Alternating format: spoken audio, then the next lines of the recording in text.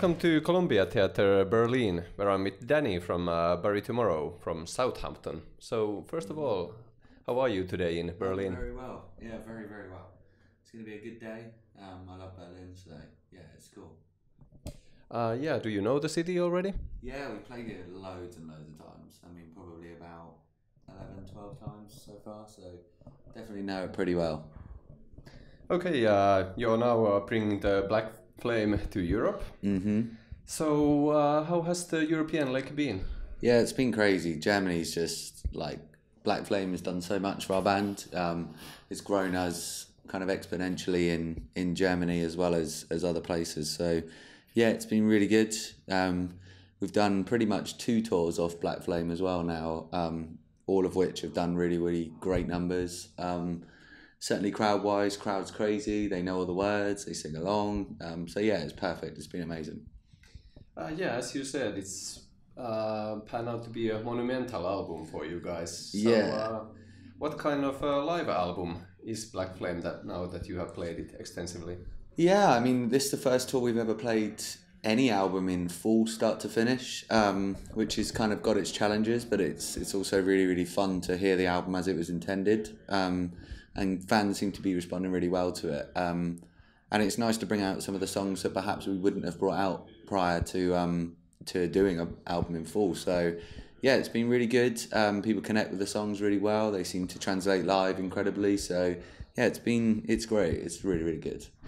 Any band favorites from the album playing live? Um, all of it really. I love Black Flame anyway. So um, for me, the age is always a really good good crowd moment. Um, Black Flame itself is a, a very big song um, for us. It's probably our biggest song in our set now. So Okay, and uh, with this album, you took things with fans a bit Mm-hmm. further.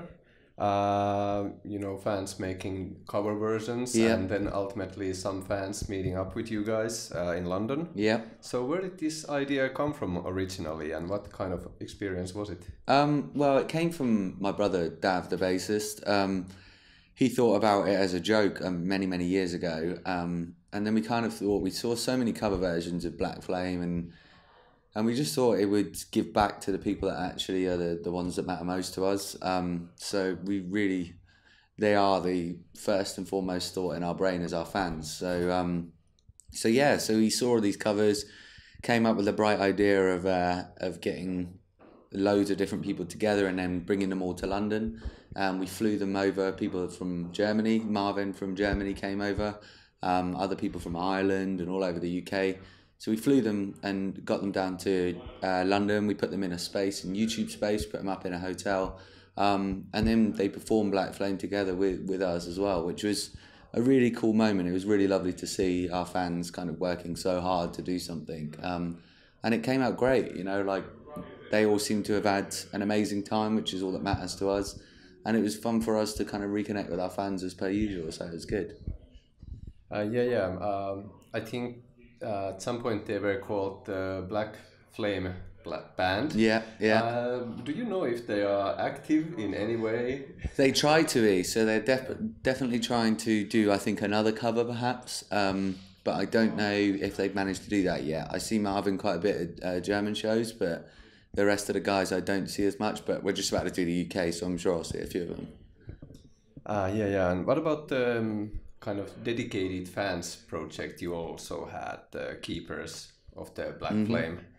Uh, how that how has uh, that project gone? Yeah, it's really good. I mean, all these projects are generally just to try and solidify our fan base, get them to understand that it's a community um, and they should be looking after each other as well as um, enjoying our band.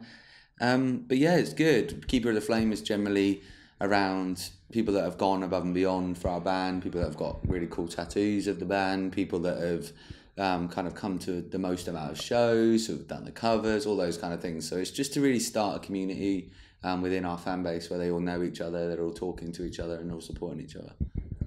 Yeah, yeah. Getting uh, fans more involved is always a good thing, of course. Absolutely. course. But uh, how challenging is it for a band to pull these kinds of things? I think the organisation side of it is is difficult sometimes, but I don't. You know, for me, it's quite easy because our fans are awesome. So like it's just about giving them space and time to be awesome and, and do their thing. So really, it's it's it's not that much effort. It's just giving them a platform and our fans to be able to do that. You know. Uh, yeah, yeah, and as a result, do you see that you are like more connected now with the fans or fan base? Yeah, I mean, I think we've always been connected with our fans. I think that's one of the reasons why we do so well in Germany and UK and, and everywhere. Really, is that actually we've always connected with our fans. We've always made sure we're at merch. Doesn't matter what show, we're meeting our fans, we're understanding what they like, what they don't like.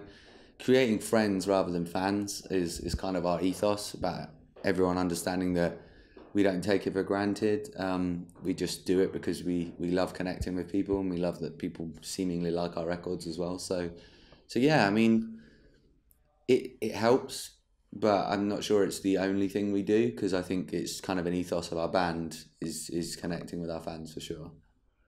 Okay, and um, yeah, Black Flame was such a huge success. Mm. Uh, is there um, any ideas for a new album yet?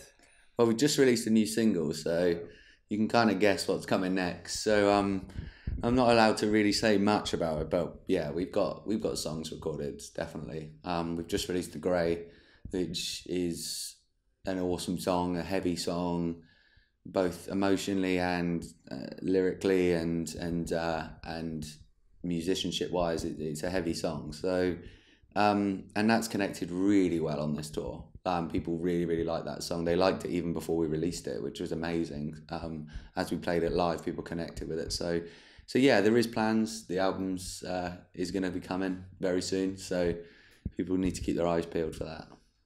Okay, so uh, how has been uh, the artistic process for these new songs? You know, after a successful album, is there more pressure or? Um, yeah, I mean, I think there's always pressure. We put the pressure on ourselves, though. It's, it's less about this kind of world of pressure, anybody putting pressure on you. It doesn't really happen in the real world. It's, it's generally us putting pressure on ourselves to make the best we can do. So we do that with every album. We just try and give ourselves space and time to be able to, to write songs. So this new song, we definitely gave ourselves a lot of time to be able to to think about it, to write it, to record it, and make sure it sounds the best it can do. Sure.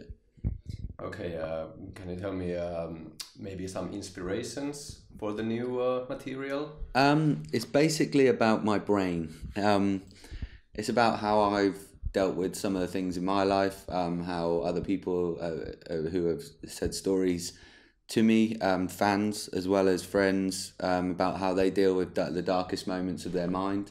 and it's really unlocking that, really, and, and being honest about that for probably the first time time in my career where I could actually be really really honest about all the stuff that I've kind of been through um, and and how fans and music have kind of brought me back into the real world and brought me back out of like just viewing myself on a on a TV screen. So it's um it's very very heavy material. Um it's not heavy as in heavy music. It's just it's tough to listen to.